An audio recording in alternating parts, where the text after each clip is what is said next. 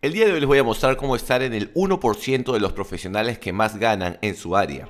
Algo que siempre me llamó la atención es por qué algunas personas pueden ganar 5 veces, 10 veces más que otra si básicamente están resolviendo el mismo problema.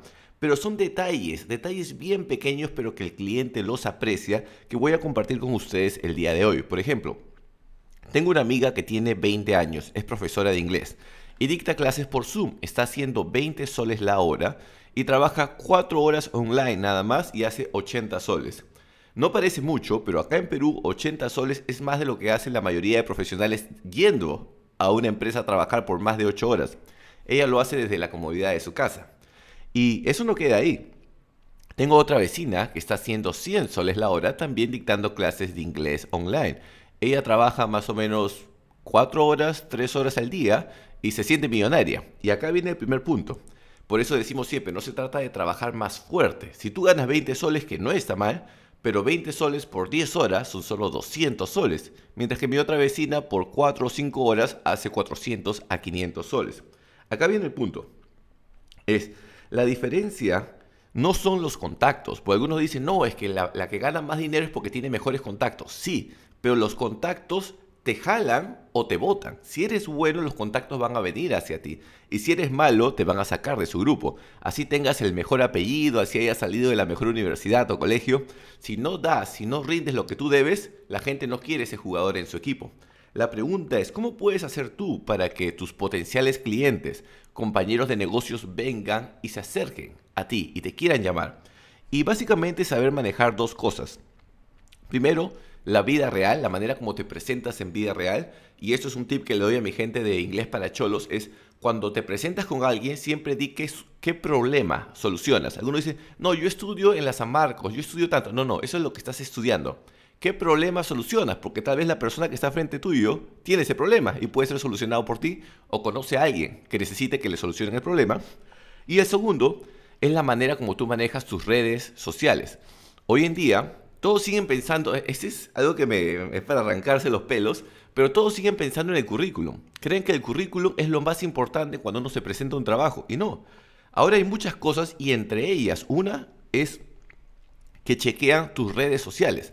Tu futuro empleador, tu futuro cliente, si es que eres un freelancer, chequea, pone tu nombre y te busca en redes sociales. ¿Qué encuentra? Si no encuentra nada, no es una buena señal tampoco. Si encuentra que uno siempre se está quejando, también está jodido. Pero si encuentra que uno está posteando sobre su carrera, ahora eso te suma puntos. Eso te pone por encima del 90% de la gente que ni siquiera sabe utilizar sus redes sociales. Y solo para hacer un... Ese no es el tema de hoy, pero me gusta ir profundo. El tema de postear sobre tu carrera no es como mucha gente veo que hace, ah, trabajando en la oficina, o el trainer que pone al, alumno haciendo el mismo ejercicio todos los días. No, no, no. Eso significa simplemente quererte besar tus propias bolas. No, la idea de postear sobre tu carrera es dar información que incluso alguien que no está en tu área de expert, que, que no está en tu carrera, que no está en el mundo, en mi caso, por ejemplo, que no está en el mundo fitness, ve eso, oye, ese consejo me puede servir, ¿no? Bueno, le digo, ¿no? No se metan carbohidratos en la mañana. Y alguien, ah, por eso es que estaba cansado. Soltar consejitos relacionados a tu carrera que ayuden a personas y si la persona que va a trabajar contigo ve eso, este realmente está apasionado por lo que hace. Hoy les voy a dejar varios tips para que puedan ganar 5 veces, 10 veces más que el profesional promedio. Para que en una hora o dos horas de trabajo ustedes puedan pagar fácilmente todos sus gastos e incluso les alcance para ahorrar. Y hoy les voy a mostrar eso, cómo ser el top 1%, el top 1% de los profesionales de su área. Y en el siguiente video les voy a mostrar cómo escalar esa solución. Si ustedes buscan solamente estilo de vida, este es el episodio que necesitan. Si buscan generar un impacto en el mundo, el siguiente los va, a potenciar este. Así que estén atentos a este canal, José Balta en YouTube. Antes de iniciar, quiero agradecer a mi auspiciador, como siempre, a mí mismo, inglesparacholos.com. Si desean no solamente aprender inglés, sino aprender a vender, marketing, hablar en público, aprender a manejar sus redes sociales de manera inteligente y utilizarlas para potenciar su carrera, aprender temas de fitness, eh, el juego para que no se queden vírgenes también, para que sean mejores con las flacas y muchas vainas más, inglesparacholos.com. Y algo adicional que he empezado a hacer es, estoy trayendo a todos mis amigos importadores, porque es mi carrera, eh, negocios globales, y muchos de ellos tenían, tienen productos. Acá en Perú tienen almacenes llenos de productos. Entonces la gente de la comunidad les estoy diciendo, si quieren vender sus productos, se llevan una comisión. Así que ahora estoy tratando de mezclar las dos cosas que me gustan, que es el inglés y los negocios, y todo dentro de la misma comunidad, inglesparacholos.com. Así que sin más preámbulos, iniciamos con los tips. La primera diferencia entre los top profesionales y los promedio es que ellos no trabajan para hacer dinero, ellos trabajan para testear hipótesis. Es decir, un buen profesional siempre está investigando, eres como que tu pornografía es investigar de tu tema y vas encontrando varias cosas que ves en internet que aparentemente funcionan. Y luego vas haciendo pequeños experimentos con tus clientes. Y acá algunos van a decir, yo no quiero que experimenten conmigo. Los mejores profesionales hacen eso. No solamente eso, las redes sociales también hacen eso. Hacen pequeños experimentos en diferentes países y lo que ve que funciona lo empiezan a promover con el resto. A eso yo le llamo inteligencia colectiva. Es más, el mismo Elon Musk lo hace con Tesla. Los carros van juntando información, lo mandan a la central y esa información después se reparte. Em, en el caso de mi comunidad, por ejemplo, yo les doy un sistema y los motivo a que ellos también vayan desarrollando microsistemas para ellos. Cuando vemos que algo le funciona a alguien, oye, esto hay que replicarlo con el resto.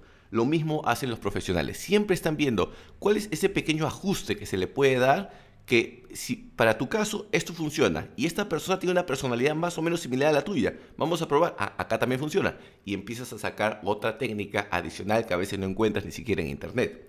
Por eso tenemos que siempre estar buscando cómo testear todo lo que uno aprende tiene que testearlo, porque si no lo testeas, se va, se borra. Y tres preguntas que les recomiendo si quieres saber cómo testear. Y es, primero, ¿cómo puedo resolver el mismo problema más rápido? De una mejor manera y con menos fricción para mi cliente. Lo voy a aplicar al tema fitness, que es algo que he hecho durante desde el año 2010. Ustedes lo pueden aplicar a su carrera.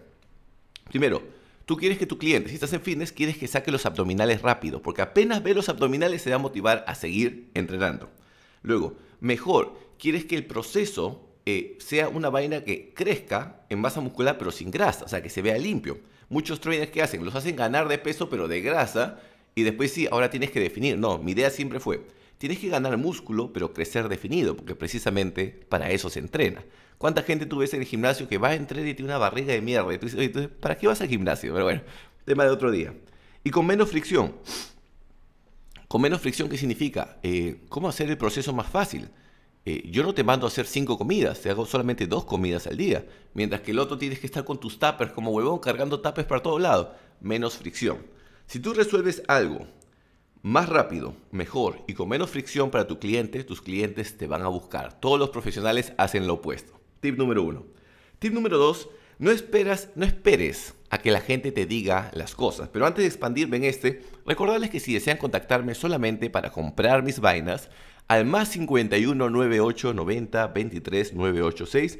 Yo mismo contesto, a veces la gente se sorprende cuando escucha mi nota de voz y me dice, pensé que era un robot. No, no, no. Yo mismo contesto mis mensajes, pero por eso hago este tipo de contenido, que sé que solamente la gente seria va a ir a comprar, no gente que quiera saluditos ni ayuditas. Así que ya saben, mi WhatsApp. Y aprovechando que les estoy dejando mi WhatsApp acá abajo en la descripción de la caja, está los links de los grupos, de los canales de WhatsApp, donde en inglés subo un episodio diario. De estos en español, cada 3, 4 días uno en español y en inglés cada día subo un episodio de negocios, fitness y temas maritales también. Sigue, seguimos. No esperar a que la gente te diga las cosas. Eh, esto es eh, sentido común, ¿no? Pero, ¿qué pasa? Hay una cultura que se desarrolla desde la época de colegio, yo diría, y se arrastra a la época empresarial. El empleador, el jefe o el dueño del negocio quiere pagar lo menos posible. El promedio, el dueño de, negocio promedio quiere pagar lo menos posible por un trabajo y el empleado promedio quiere hacer lo menos posible por ese dinero. Es como que no, yo te pago lo menos posible y yo hago lo menos posible. Es una cultura de media, una cultura de mierda por ambos lados. Cuando tú dejas de ser un empleado y te vuelves un freelancer, no puedes arrastrar esa cultura. Y el 90-95% de los profesionales la arrastra. Eh, ¿Qué hace? Tú tienes que decirle, oye, ¿y hiciste trabajo? No. ¿Cuándo lo vas a hacer? No, ya, próxima semana. Y así te van pateando, te van pateando. A veces hacen las cosas, pero hacen una parte. Oye, necesito esto, esto, esto, esto. Oye, ¿y lo otro qué pasó? Ah, me olvidé. Y bueno, no es coincidencia. Eso se llama distracción de redes sociales y pajas mentales. Pero solamente si tú haces lo que prometes que vas a hacer, puedes estar seguro que estás por encima de la mayoría de los profesionales. Siguiente. No es posible, y esto va a sonar estúpido, pero no es posible que yo encuentre una mejor solución en Google que la que el profesional me está dando. E incluso si el profesional me da la misma solución de Google, tiene que darme la solución más la manera de implementarla, que esa es otra historia también. Cómo tú implementas algo es lo más importante. Esta gente no, está en Google, sí, pero implementalo. Pero muchos profesionales no investigan, se van a quedar sorprendidos, pero yo he aprendido algo, que casi todas las profesiones que he visto hasta ahora, que quiero aprender algo, con 10 a 20 horas de investigación sé más que el, profesional promedio. ¿Y eso a qué te ayuda? Cuando sabes más que el profesional promedio, puedes saber quién es el buen profesional y quién es el vago. Por eso, antes de contratar a alguien, y eso es algo que estoy trabajando en un futuro episodio en inglés, antes de contratar a alguien, siempre investiga un poco del tema. Así le haces preguntas y la manera que responde vas a poder saber, ¿a ah, este realmente es apasionado o simplemente lo hace por ganar un par de centavos y, pagar sus gastos básicos? Así que siempre saber un poco del tema que uno quiere, la, del tema que uno necesita solucionar. Luego, el siguiente. Comerte los sapos de otras personas. Y acá suena sexual, pero en inglés hay algo que le dicen eat other people's frogs. ¿Qué significa?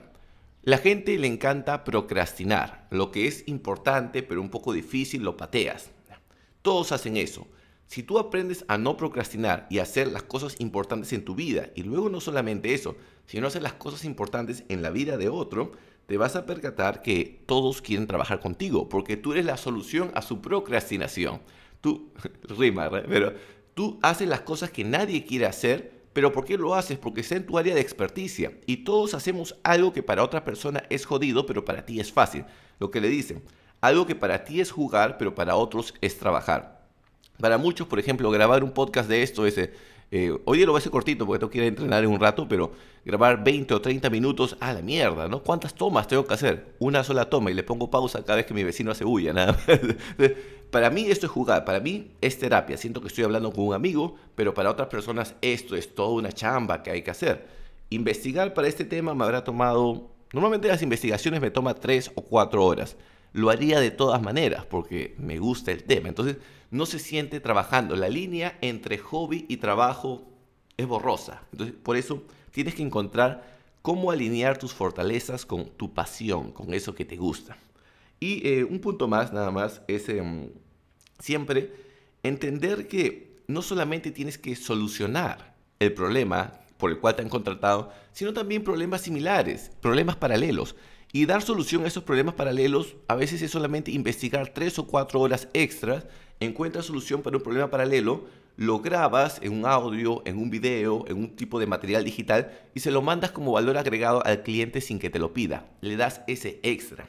Si ustedes ven mi canal de YouTube, si ustedes ven mi podcast en inglés, eh, Uncle Balta, Tío Balta en inglés, Uncle Balta en Google Podcast y Spotify, les pongo un título de un tema, cubro ese tema y al final 5 minutos o 10 minutos más hablando de otro tema complementario. Siempre uno tiene que acostumbrarse a dar ese extra. Y dar ese extra es como, es como ir al gimnasio, es como un músculo que desarrolles. Llega un punto que te acostumbras. O sea, siempre te piden algo, ya toma esto y toma algo más. Eso se va desarrollando.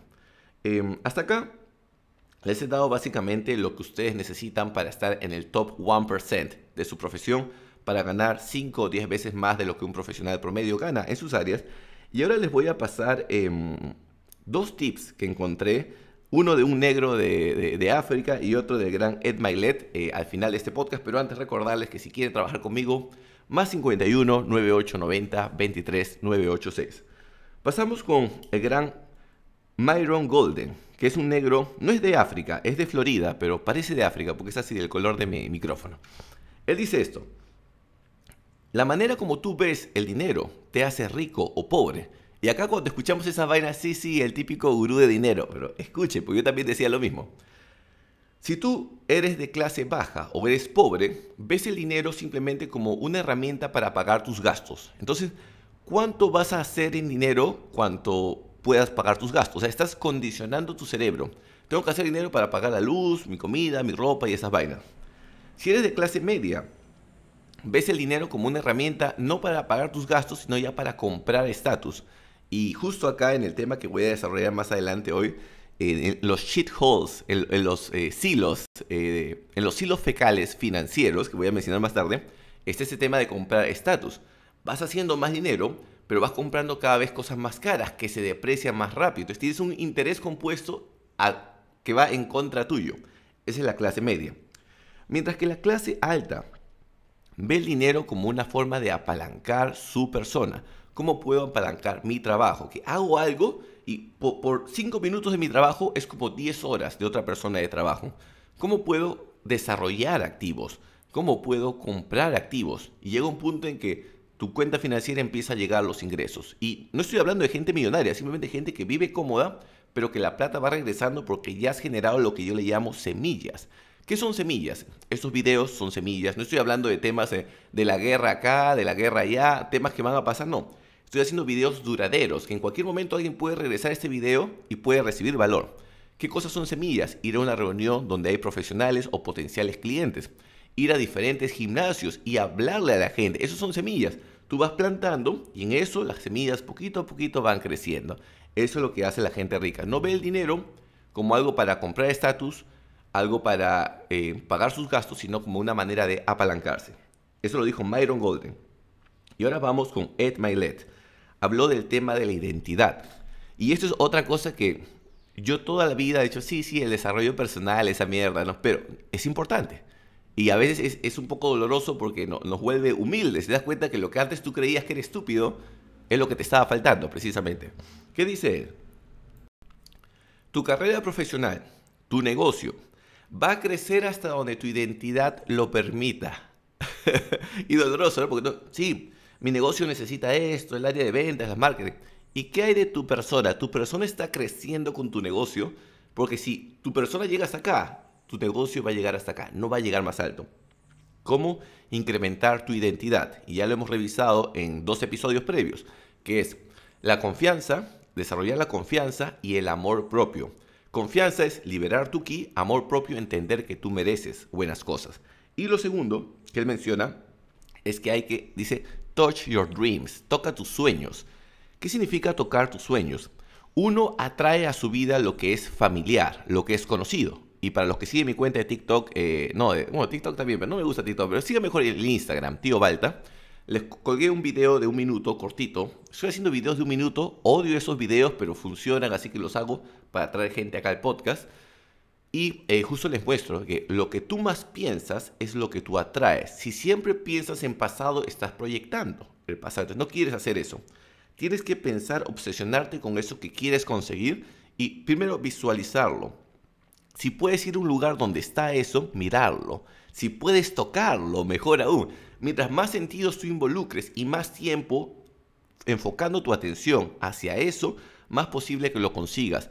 Y también desarrollando un plan. Es siempre pensando, ¿cómo puedo atraer esto? ¿Qué tengo que puedo cambiar por algo que luego eso me puede hacer conseguir ese recurso? Y bueno, espero que les haya gustado este bonito episodio.